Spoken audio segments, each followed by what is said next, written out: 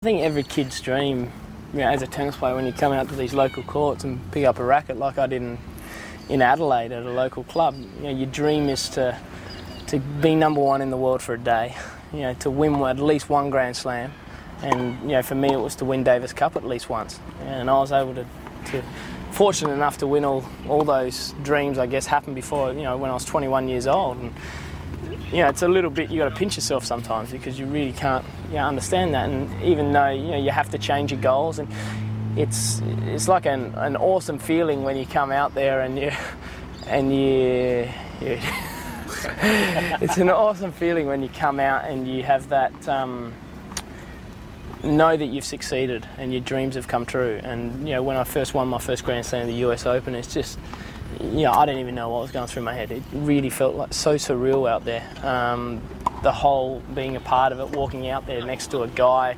who will go down as possibly the greatest player ever in Pete Sampras. And in my first Grand Slam, I walked up to the net and uh, for the coin toss, and I go up there, and Pete Sampras is standing on the net. You got the chair umpire there, and then Ivan Lendl's tossing the coin for our match, and I'm sort of standing there for I'm a little out of place here, you know, and it was just a, a, weird feeling. But you know, even I remember before the semi-final matches, there was I had to play Kafelnikov in a semi-final, and then after that, Sampras had to play Safin, and, and John Fitzgerald was speaking with um, Ivan Lendl actually before that semi-final, and, and Fitzy came up to me afterwards, and he goes, uh, I was just talking to Ivan, he said, "You're going to win this for sure."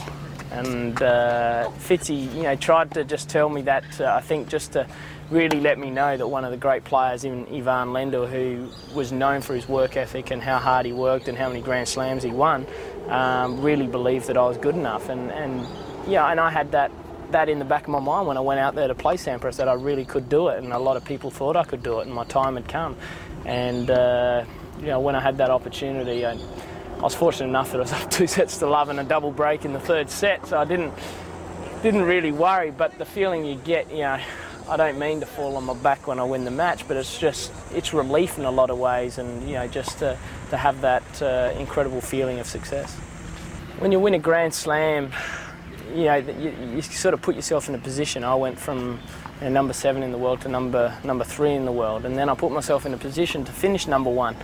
Um, and at the end of the year, I knew that going into the Masters Cup in Sydney in 2001, it, it was. Uh, in my own control whether I got number one or not. If I won the Masters Cup at the end of that year, I got number one. And that's all I really wanted, knowing going into that. I knew it was, uh, I had total control of the situation if I was good enough. And uh, it turned out that I remember watching a match, I had to play Pat Rafter in the last round robin match um, to try and get through the semi finals. I was already through to the semi finals.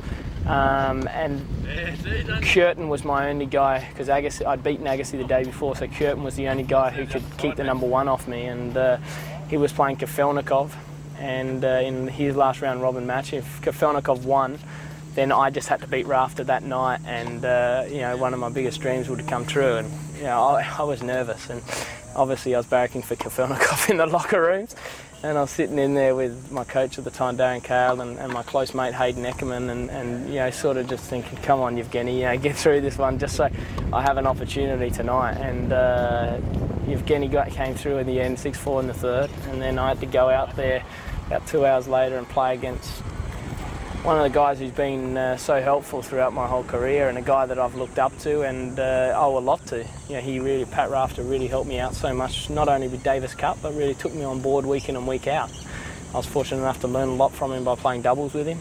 And uh, one thing that I'll always regret that we never won the Davis Cup together um, in, in, the last in a final in the same year, but uh, yeah, we've, we've had some great memories of, of, playing Davis Cup together. So it was an awkward matchup to go and play against him, knowing that you know this could be one of my biggest matches of my life. And uh, it was a strange situation out there, and I ended up going out and uh, winning in a, in a tight two-set match. And uh, when I look back on it though, and Pat and I will talk about it, I'm sure in the years to come, it was just it was probably one of the greatest things to have actually been out there with Pat Rafter at the time, um, because you know he really broke the ice for Australia there. We had a bit of a drought of Grand Slam champions, and he came out in 97, 98, won back to back US Opens, and, and made two back to back Wimbledon finals. Um, so, you know, that, that was an awesome feeling getting number one in the world. And you know, I came straight off the court and uh, into the locker room, and I didn't know what to think. And I get a message from uh, someone who's just sitting behind the desk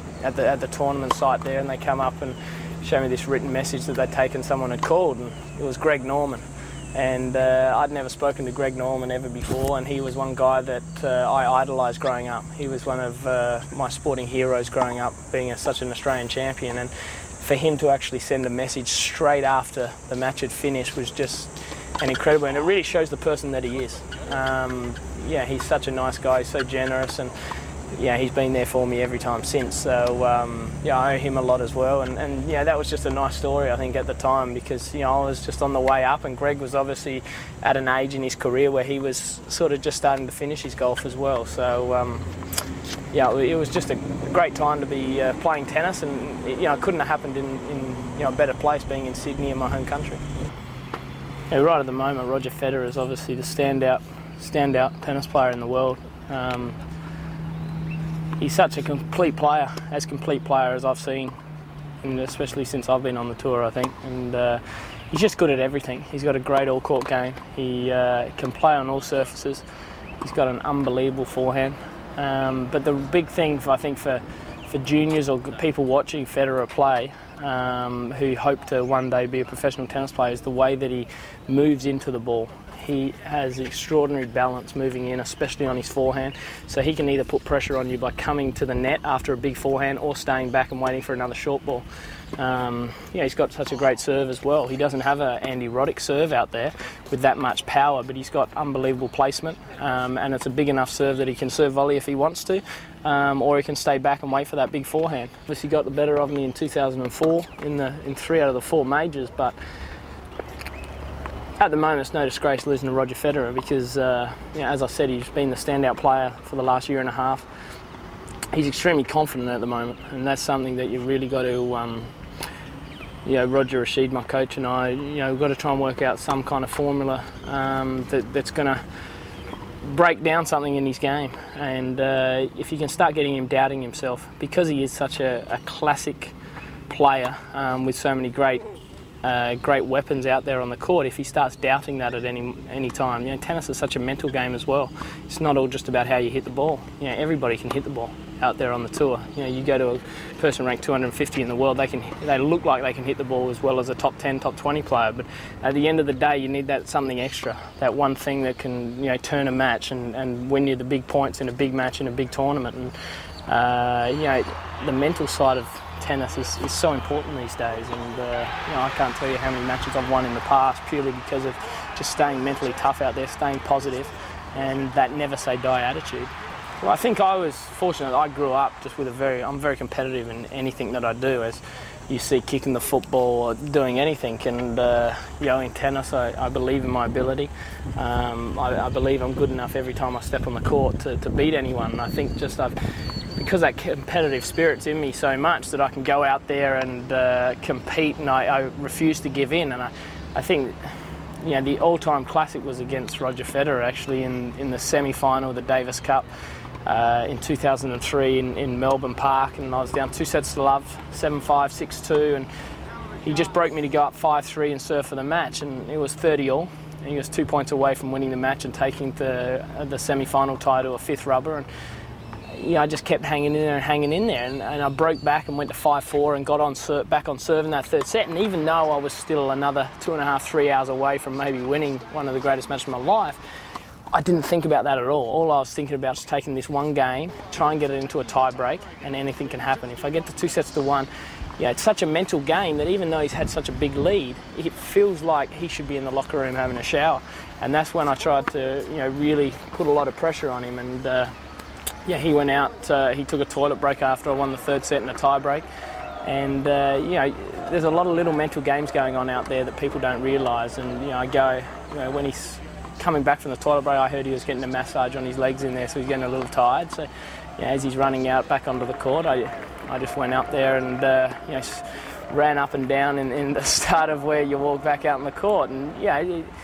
It's sportsmanship, but then again, yeah, it, it's trying to get in your opponent's head as well, and, and really, you know, trying to use all all the mental parts of, of what you know tennis is all about out there. Um, because you know over four hours a lot of there's a lot of momentum swings in a match. And yeah for me that was just such a huge turning point. Anybody who's touched number one for a day a week whatever you know I know I held it for nearly two years. And uh,